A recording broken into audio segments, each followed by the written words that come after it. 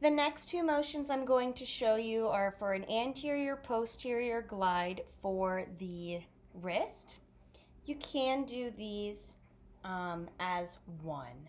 So instead of just doing um, posterior glide or anterior glide, you can actually go back and forth. So um, what I'm doing is I'm stabilizing here at the distal wrist and grabbing just before the thumb, kind of at the, the crease of the um, joint here at the carpal joints.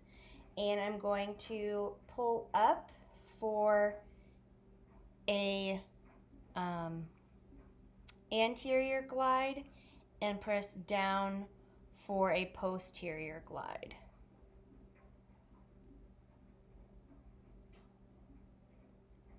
Anterior, posterior.